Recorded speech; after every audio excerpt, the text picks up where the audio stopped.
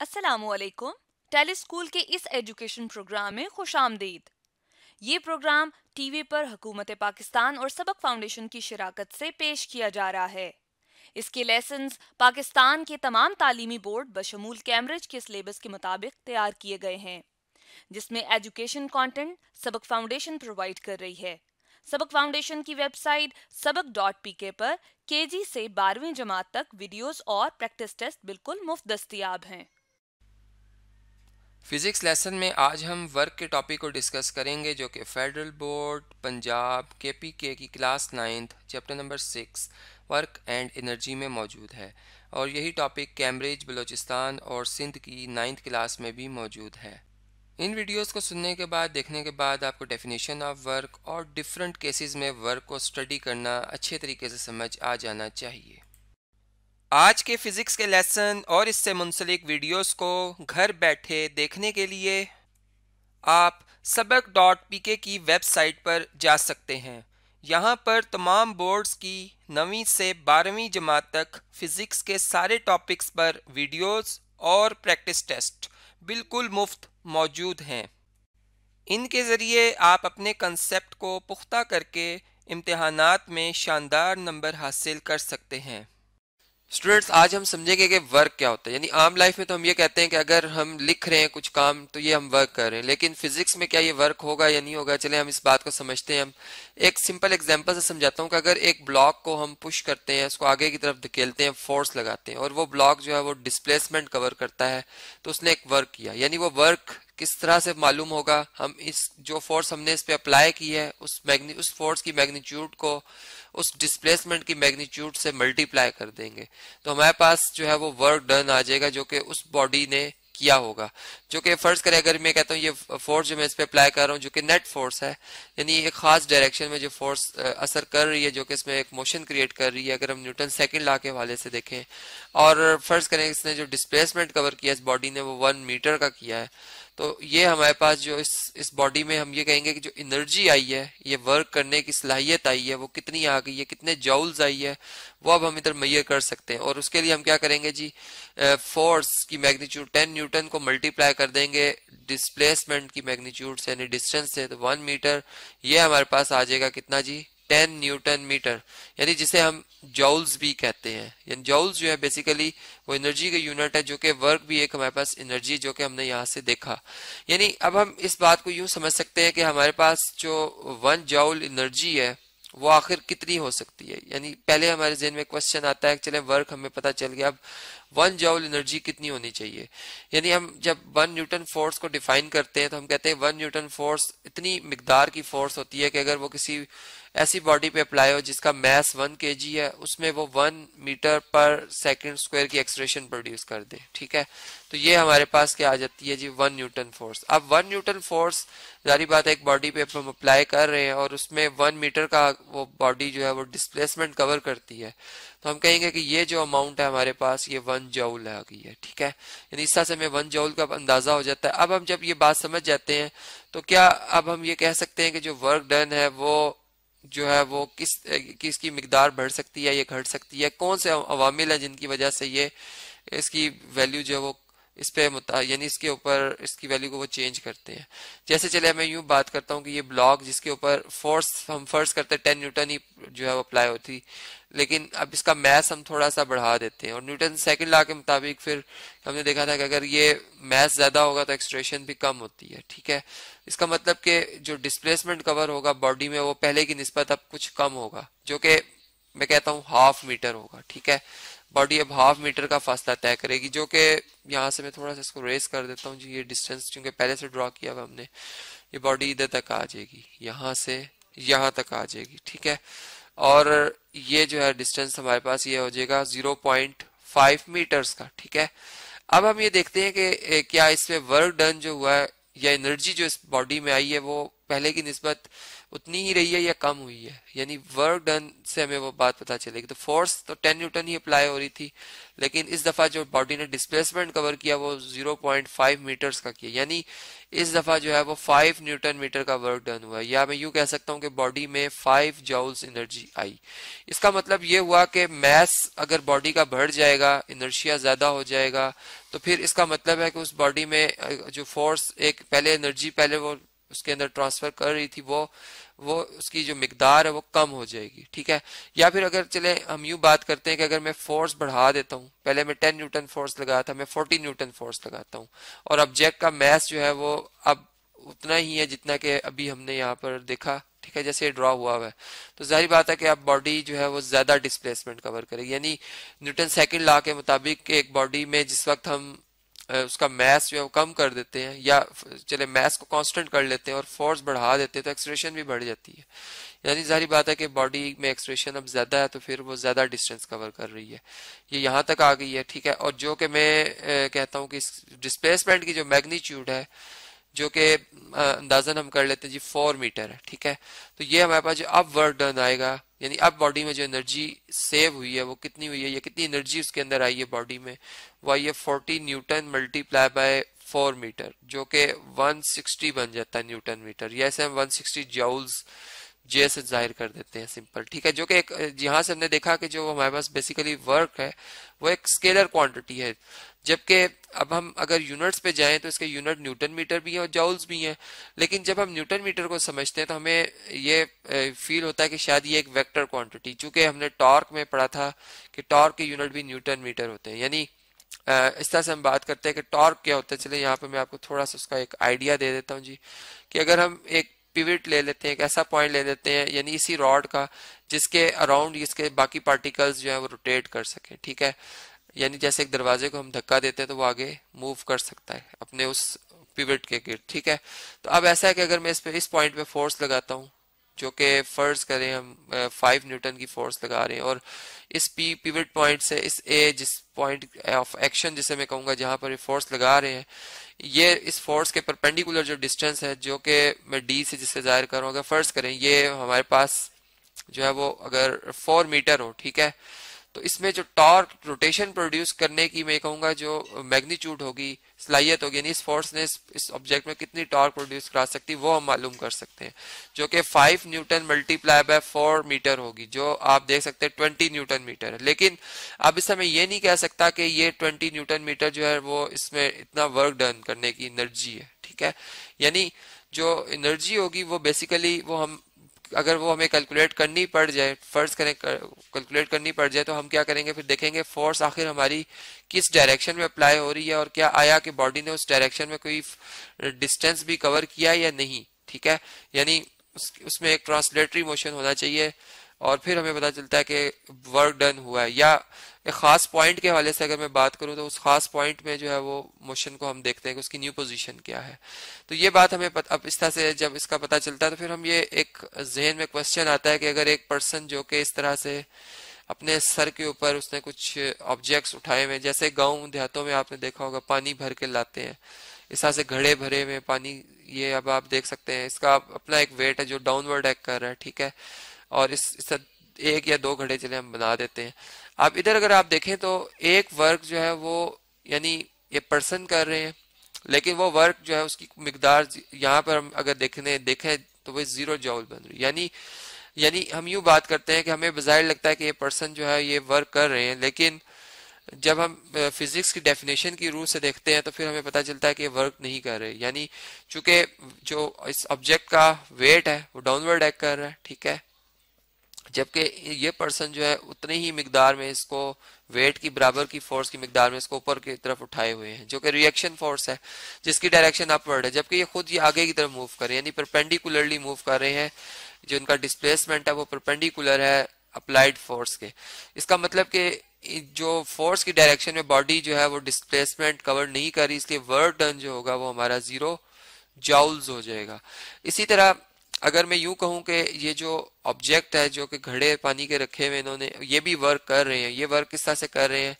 यानी ये कितना वर्क कर रहे हैं? ये ये अगर हम देखना चाहें तो ये इस तरह से हो सकता है कि ये फोर्स जो ऑब्जेक्ट इस पे लगा रहे हैं, इस पर्सन पर वो कितना लगा रहे हैं? जी, वो डब्ल्यू इसका अपना वेट जो है उस पर फोर्स लगा रहे हैं। और अगर ये पर्सन फ़र्ज़ करें, नीचे की तरफ़ बैठ जाते हैं, उस वेट को, यानी उस बर्दाश्त नहीं कर पाते और अपनी नॉर्मल हाइट से नीचे हो जाते हैं, कुछ कुछ फासला यानी फ़र्ज़ करें पॉइंट फाइव मीटर वो झुक जाते हैं नीचे।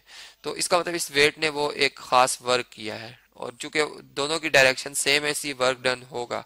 लेकिन अगर फ़र्ज़ करें पर्सन इसी तरह स्टैंडिंग पोजीशन पर है और वेट डाउनवर्ड एक्ट कर रहा है, जबकि खुद ही आगे की तरफ़ मूव करें तो फिर जो ये अब, ये जो घड़े हैं, ये भी कोई वर्क इस बंदे पे नहीं कर रहे। ठीक है? यानी इस बात को मैं यूँ एक्सप्लेन कर सकता हूँ कि एक एथलीट जो है, एक एथलीट जिस वक्त एक वेट लिफ्टिंग करता है, ठीक है? वो अपने सर के ऊपर इस तरह से बाजुओं से, इस तरह से जो है वो डम बेल जो होता है, वो जिस, जिसमें एक रॉड और उसकी दोनों तरफ़ जो है वो कुछ वज़न जो होता है वो अटैच होता है। अगर इसको उठा कर खड़े हैं वो, ठीक है? तो और उनके मुताबिक क्या ये, यानी वो समझ रहे होंगे, शायद मैं कोई वर्क कर रहा हूँ, लेकिन ये वर्क नहीं है। यानी फिजिक्स के वजह से ये कोई वर्क डर नहीं है चूँकि बॉडी पे आप मुसलसल फोर्स लगा रहे हैं, लेकिन बॉडी कोई डिस्प्लेसमेंट कवर नहीं कर रही। लेकिन अगर ऐसा हो कि ये इस एक्सरसाइज के तौर पर इसको ऊपर लाएँ और फिर इसको अपने हाथ को इसी तरह से, यानी यहाँ तक इसकी पोजिशन चेंज करें। ठीक है? इस तरह से ये इस पोजीशन पे ले आए फिर से ठीक है? फिर इसका ऊपर लेके जाएँ। तो अब इस इस तरह से अगर हम देखें तो जब ये ऊपर से नीचे लाए तो उन्होंने चूँकि नीचे की तरफ़ फोर्स भी लगाई और बॉडी ने कोई डिस्टेंस भी डिस्प्लेसमेंट भी कवर किया तो फिर मैं कहूँगा कि ये वर्क कर रहे हैं।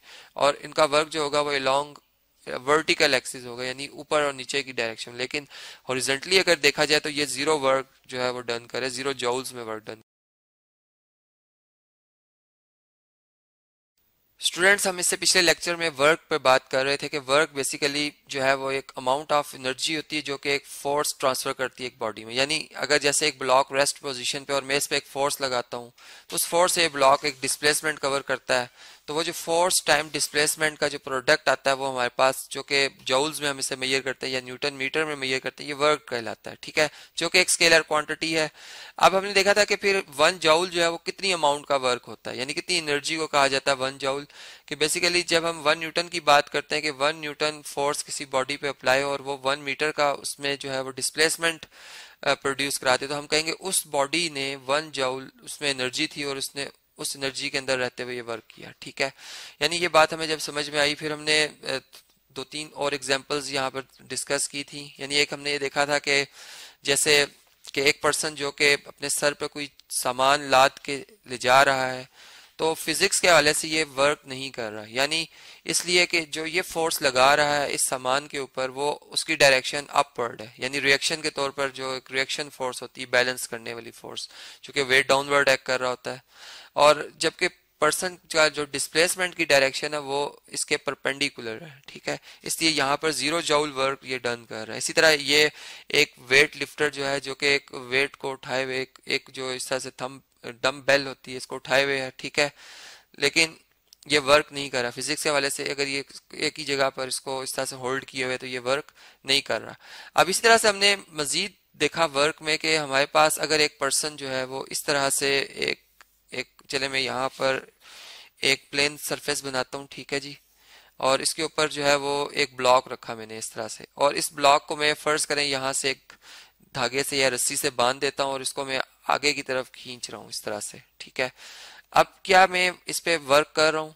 अब मेरा ये क्वेश्चन है, यानी यहाँ पे अगर आप देखें तो मेरी जो फोर्स है, ना तो ये बॉडी जो है फोर्स की एग्जैक्ट डायरेक्शन में मूव नहीं कर रही। यानी चले फोर्स अगर मैं पीछे की तरफ़ लगा रहा हूँ ये बॉडी मूव कर रही है, यानी ये ये ये बॉडी मूव कर रही है, लेकिन जो फोर्स है वो एग्जैक्ट जो है, वो हॉरिजॉन्टल एक्सिस के अलोंग नहीं लग रही, ठीक है?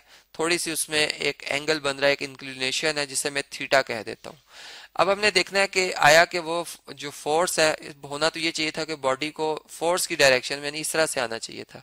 यानी मेरे हाथ की तरफ़ इस तरह से ऊपर की तरफ़ आना चाहिए था, लेकिन ये ऐसा नहीं आ रही है, ज़मीन पर रिड़ती भी आ रही है, यानी वर्क डन हो रहा है, लेकिन अब हमने देखना है कि एक्चुअल कितनी एनर्जी जो है वो ये इस ब्लॉक के अंदर आ रही, जो कि इसको लॉन्ग एक्स एक्सिस ये वर्क डन करने पर मजबूर कर रही है, या इसको ये वर्क डन करा रही है। अब फ़र्ज़ करें कि इस ब्लॉक पे जो फोर्स हम अप्लाई कर रहे हैं, ठीक है? यहाँ पर मैं जो ये, चूँकि हम जानते हैं फोर्स जो होती है, ये हमारे पास एक वेक्टर क्वांटिटी है, और वेक्टर क्वांटिटी में फिर हम इसमें डायरेक्शन को भी देखते हैं, ठीक है? यानी मैग्नीट्यूड जो कि यूनिट के साथ साथ फिर उसमें क्या होता है जी, डायरेक्शन भी होती है। अब ये हमारे पास वाई एक्सिस है, फ़र्ज़ करें लाइन, ठीक है? ये वाई प्राइम आ जाएगी यहाँ पर एक्स प्राइम और ये हमारे पास एक्स एक्सिस है और ये ओरिजिन है। यानी यहाँ ये वो पॉइंट है जहाँ पे फोर्स अप्लाई हो रही है और ये फोर्स की मैग्नीट्यूड है और ये इसकी डायरेक्शन है। ये वेक्टर यानी वेक्टर ग्राफिकली जो है मैं इसको समझा रहा हूँ वेक्टर फॉर्म में। अब ये फोर्स है जी अब हम देखें तो इसने लॉन्ग एक्स एक्सिस जो है फोर्स कितना एंगल बना रही है जी थीटा और अगर मैं इसके कंपोनेंट्स को यहाँ पर रिजॉल्व कर दूँ तो हेड टू टेयर रूल के हवाले से भी अगर हम देखें तो वो भी यहाँ पर अप्लाई होता है। इस तरह से कि अगर इस इस पॉइंट से, इस पी पॉइंट से फ़र्ज़ करें, मैं एक परपेंडिकुलर थ्रो करता हूँ एक्स एक्सिस पे, जो कि इसे एम पॉइंट पे आके हिट करता है। तो ये जो ओरिजिन से लेकर एम तक का ये जो फासला है, ये जो मैग्नीट्यूड है, अगर यहाँ पे मैं डायरेक्शन भी शो कर दूँ तो ये एक वेक्टर बन गया और ये इस फोर्स एफ़ का एक्स कंपोनेंट कहलाएगा, ठीक है?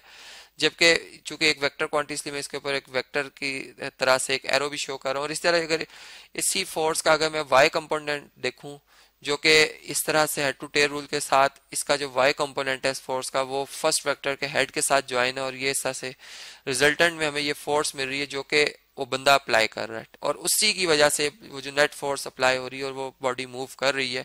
अब हम ये देख रहे हैं कि ये फोर्स जो है कितना वर्क डन कर सकती है, ठीक है? यानी अब इसके लिए हम यहाँ से जब रिजॉल्व करते हैं कंपोनेंट्स में किसी वेक्टर को, किसी फोर्स को तो हम जानते हैं कि यहाँ पर एक राइट एंगल ट्राइंगल बन रही है, जिसपे कि हम फिर जो है वो ट्रिग्नोमेट्रिक रेशियोज अप्लाई कर सकते हैं। यानी वो साइड जो कि राइट एंगल के सामने होती है, ये हमारे पास हाइपरटिन्यूस साइड होती है, ठीक है?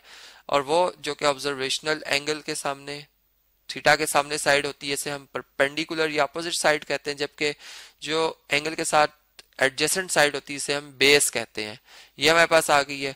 अब हम देखें तो हमारे पास एक निमोनिक था जी सम पीपल हैव ठीक है, यानी साइन सम से साइन थीटा बनाएँगे पीपल से हम परपेंडिकुलर और हैव से हम बना देंगे हाइपरटिन्यूस एच फॉर हाइपरटिन्यूस ठीक है? तो sine theta is equal to आ जाएगा परपेंडिकुलर साइड जो कि वाई कंपोनेंट ऑफ़ फोर्स है, जबकि डिवाइडेड बाय हाइपरटिन्यूस साइड जो है वो एफ़ वेक्टर है, ठीक है?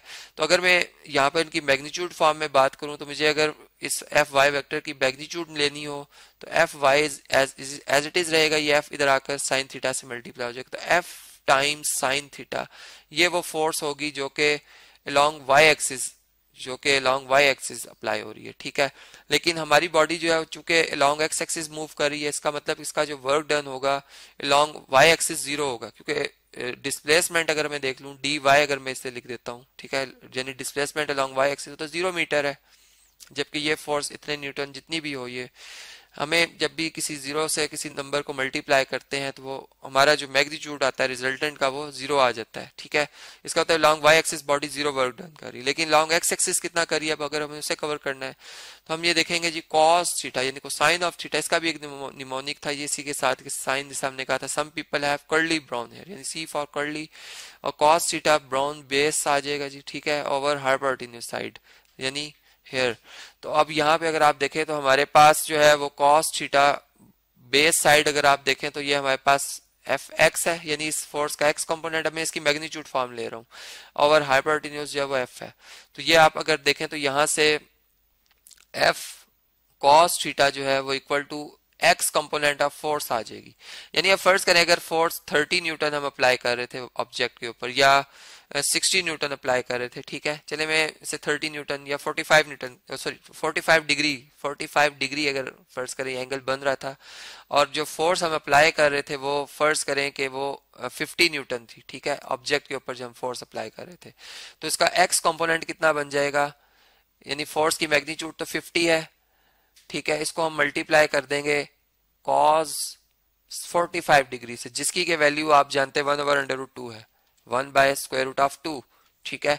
तो ये divided by square root of two ये इतने newton force along X axis लग रही है। और फ़र्ज़ करें एक बॉडी ने जिसपे ये मैं फोर्स लगा रहा था, इस ए पोजीशन से जब मैं इसे मूव कराता हुआ यहाँ तक लाया हूँ, ठीक है? अपने इस पोजीशन तक ले आया हूँ और मैं सस आगे शिफ्ट हो गया हूँ। तो ये फासला फ़र्ज़ करें, जो डिस्प्लेसमेंट कवर हुआ, वो अगर टू मीटर्स का है तो इसने जो वर्क डन किया होगा, वो अलॉन्ग जो एक्स एक्सिस होगा, वो कितना होगा जी? वो एक्स कंपोनेंट ऑफ़ फोर्स इसको मल्टीप्लाई कर देंगे डिस्प्लेसमेंट अलोंग एक्स एक्सिस ठीक है, इसे मैं एक्स लिख रहा हूँ। तो ये हमारे पास क्या होगा? 50 over square root of two multiply by two ठीक है, और इसके साथ यूनिट लिख देंगे न्यूटन मीटर या जॉल्स तो ये आप इसको कैलकुलेटर से कैलकुलेट कर सकते हैं न्यूमेरिकली देख सकते हैं कि कितनी इसकी जो है वो एनर्जी जॉल्स में हम देख सकते हैं। तो इस तरह से आपने देखा कि एक वर्क डन जो है, वो एंगल पे किस तरह से डिपेंड करता है। यानी अगर हमारा मोशन जो है वो फोर्स के अगर परपेंडिकुलर होगा तो फिर परपेंडिकुलर डायरेक्शन में वर्क डन ज़ीरो होगा, ठीक है? चूँकि फोर्स और जो डिस्प्लेसमेंट डिस्प्लेसमेंट उनकी सेम डायरेक्शन नहीं है। लेकिन अगर सेम डायरेक्शन में होगा तो फिर हमारा वर्क डन जो है वहाँ पर वो होगा और उसको हम मैयर भी कर सकते हैं।